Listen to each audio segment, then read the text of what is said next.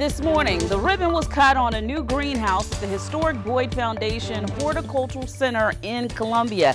Now, this new facility is on the grounds of the Hampton Preston Mansion. It's a state-of-the-art greenhouse equipped with all of the necessary tools to keep the mansion grounds perfectly manicured and beautiful. Historic Columbia partnered with the Boyd Foundation to build the greenhouse and gatehouse on the grounds. For organizers, today's unveiling is a new step to bring the vision to life can see just by walking through these doors or walking um, around the block or in the front gates that the Boyd Foundation Horticultural Center is a really stunning addition to the landscape of this site, but not just to this site, really to Columbia more broadly.